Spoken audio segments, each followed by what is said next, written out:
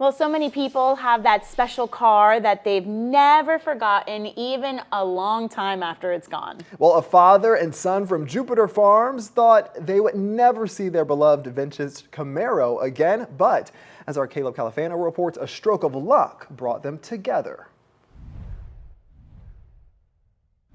For Nathan Misculin and his father, cars are a passion. They become part of the family. Um, it's almost, it sounds silly to some, but it's the car becomes part of the family. So for them, this 1969 Camaro was considered a long lost family member, finally returning home. And you hear those stories all the time, and this really is one in a million.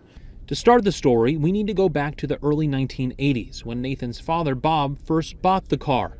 Over the next 10 years, Bob and Nathan took the car to shows across Florida winning awards. Come 1993, Bob has to sell the Camaro, and for three decades, that's the last time they would see it until last month. Back in November, I was watching some videos on Facebook on my Camaro page, and I noticed um, a video that looked like the car, and I messaged a guy. He says, "Oh, I hear that all the time. I don't think it's the car." And I said, "Well, can you check this or that? You know, can you verify if it's the car?" And he said, "Yeah, that's your dad's car." Sure enough, on the other side of the country in Washington state, Bob and Nathan's award winning Camaro was finally found again.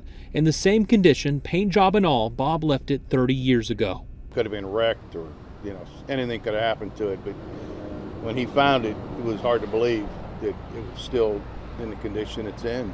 So Nathan bought it back, marking the journey of getting it back to South Florida. After help from the previous owner, the Misculin's dream muscle car was headed home for one final surprise an early arrival on Christmas for Bob. It felt really, really good to bring it back.